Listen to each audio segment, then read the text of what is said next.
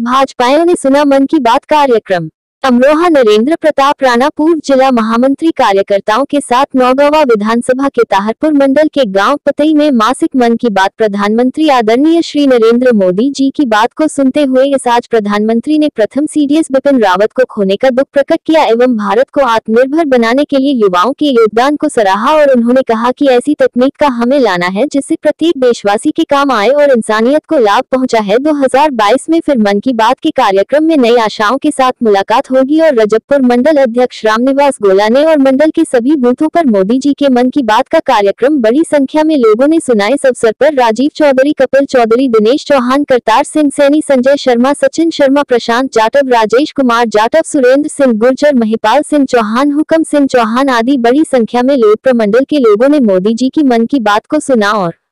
नौगवा सादात विधानसभा की के ग्राम बीबड़ा खुर्द में बूथ नंबर एक